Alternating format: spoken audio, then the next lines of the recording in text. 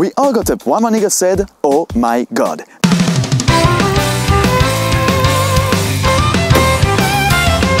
This handsome man is watering his plant very well. How could I do the same with my bonsai? And I know what you're thinking, but no, it's not impossible. My name is Stéphane Delapine and today I will teach you how to water your bonsai. First of all, to water your bonsai like this handsome man,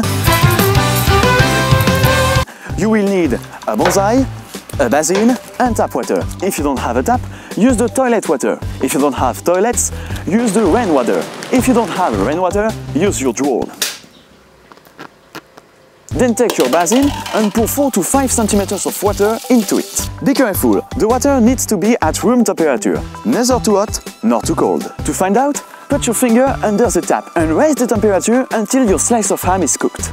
Congratulations! You figured out how to cook ham!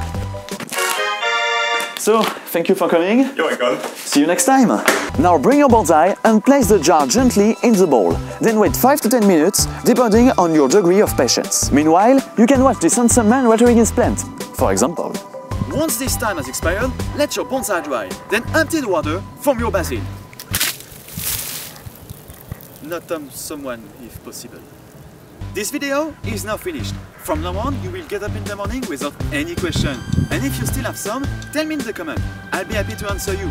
Subscribe!